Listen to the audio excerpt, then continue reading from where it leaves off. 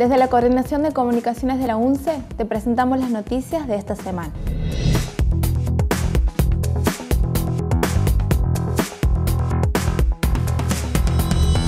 Comenzamos con los destacados.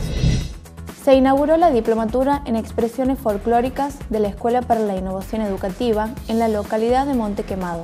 Este espacio formativo será dictado en el Instituto Superior de Formación Docente número 6 y la profesora Cecilia Díez será la coordinadora de la diplomatura de esa localidad asumió un nuevo consejero en la reunión del Honorable Consejo Superior. La rectora tomó juramento a Camilo Bailón Delgado, quien representará al claustro no docente en las próximas sesiones del cuerpo.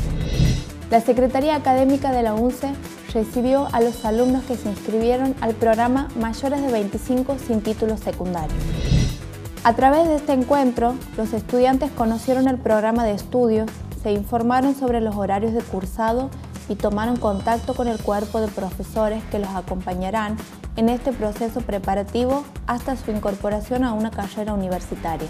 Los aspirantes tomarán clases en las áreas de matemática, lengua, ciencias sociales y naturales bajo la modalidad de talleres. La Orquesta Estable de la UNCE realizó una presentación en Iglesia San Francisco.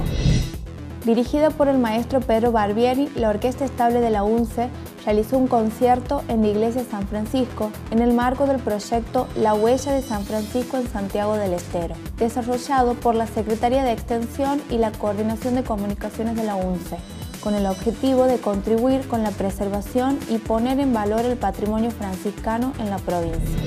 Hasta aquí les presentamos lo más destacado de esta semana. Nos encontraremos en la próxima emisión de InfoUnce.